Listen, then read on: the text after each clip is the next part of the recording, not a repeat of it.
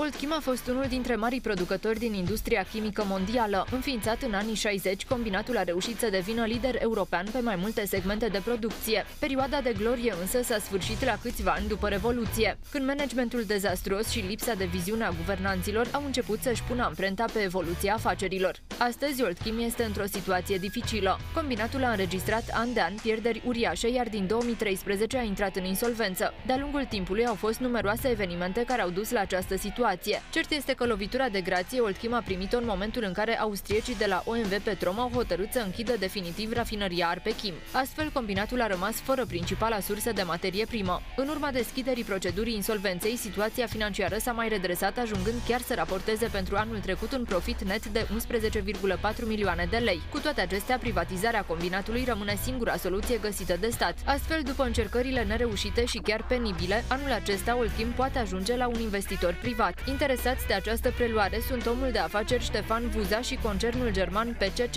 Conform planului de reorganizare modificat al companiei, activele Oldkim sunt oferite spre vânzare grupate în 9 pachete, iar prețul de pornire este de 307 milioane de euro. Investitorii ar fi trebuit să depună oferte definitive până la 24 martie, dar la cererea lor, termenul a fost prelungit cu 3 luni până la 26 iunie.